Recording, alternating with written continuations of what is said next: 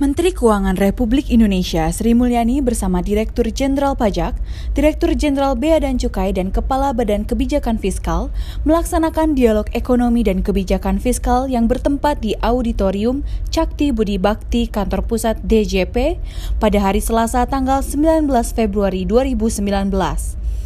Dialog tersebut mengundang 79 pelaku usaha, beberapa wajib pajak, Ikatan Konsultan Pajak Indonesia, perwakilan BUMN, perwakilan asosiasi usaha dan para anggota asosiasi usaha itu sendiri yaitu perusahaan konstruksi, migas, hulu migas, rokok, retail dan sebagainya. Mungkin banyak yang bertanya kenapa kita mengundang siang hari ini. Pertama, saya waktu meminta untuk ini diundang, tujuan yang ada di dalam kepala saya pertama adalah saya ingin menyampaikan terima kasih kepada seluruh dunia usaha.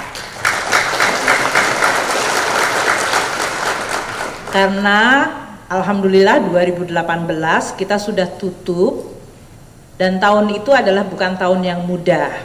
APBN 2018 kami bisa tutup dengan sangat baik itu adalah suatu kombinasi antara prestasi dan blessing. Dan oleh karena itu kami ingin kesempatan ini untuk menyampaikan kepada Bapak dan Ibu sekalian rasa terima kasih kami. Karena memang 2018 kami tutup dengan penerimaan negara tercapai 102,5 persen dari target. Dan itu kombinasi dari harga minyak, kurs, suku bunga, pertumbuhan ekonomi, dan juga ketaatan dan kepatuhan Bapak Ibu sekalian, rela atau tidak rela, saya harapkan rela untuk membayar pajak dan tentu dari kerja keras dari tim kami di pajak dan bea dan cukai.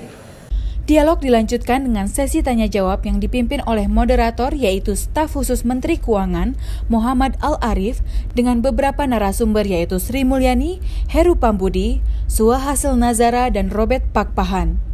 Dari Kantor Pusat Pajak, Kanal BCTV melaporkan.